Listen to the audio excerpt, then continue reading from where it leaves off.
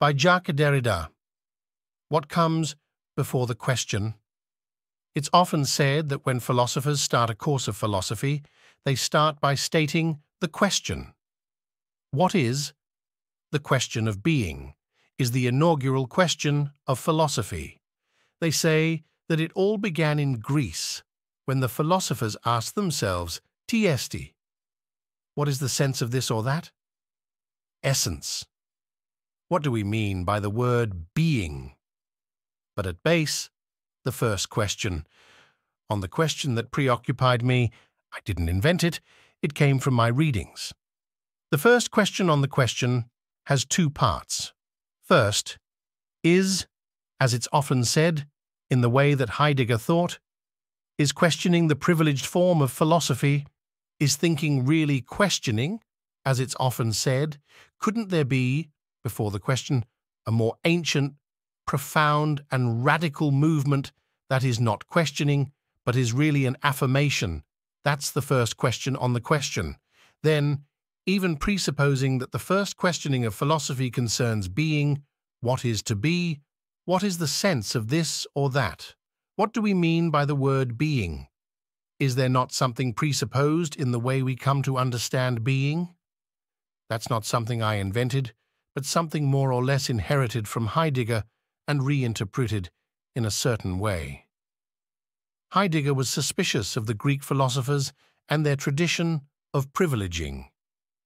The present participle of being, meaning a presence of being.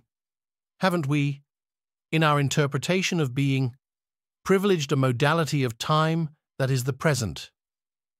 And the presence of the present, as soon as one is suspicious of this presentness of the present, of interpreting being as a presence of the present, are there not serious consequences that follow this desire for the present, the desire to interpret being as presence?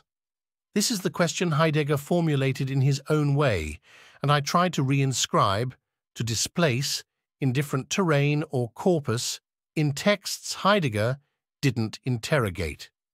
Everything that I wrote about the trace in writing, which is itself the very condition of non-presence of the present.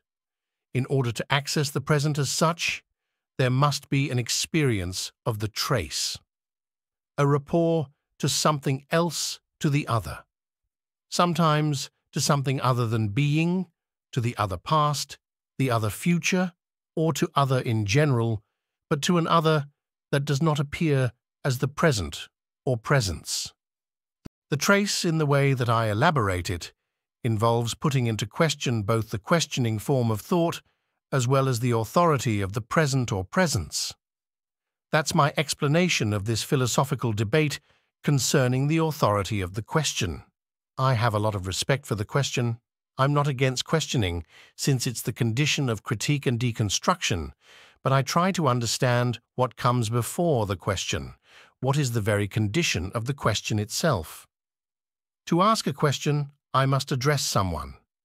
Even innocent questions presuppose a primary affirmation. I address myself to someone else, and I am saying it's better we speak than we don't, it's better that I relate to the other than not. And so I affirm a sort of yes a sort of anterior acquiescence. I say it in quotes because it's not a question of time, but rather what precedes the question with regard to the order of thought. Once the question itself is interrogated in this way, then comes the question of the present, followed by the work on what I want to call trace. Writing? Not just writing in the sense of what one writes on paper or computer, but in everything there is a trace, an experience of a return to something else, of being returned to another past, present, future, a different type of temporality that's even older than the past and that is beyond the future.